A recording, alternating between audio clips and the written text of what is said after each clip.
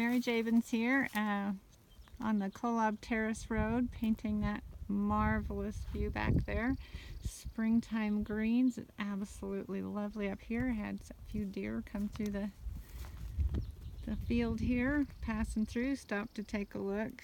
Max needed to take a look, but he stayed. This is uh, my finished product. Of course, it's in the sun, so it's really bright, but I'll get a better picture. And I'm going to crop the top of that painting. I didn't have the right panel with me, but I'll take care of that. So thank you for coming along. See you another day. Take care.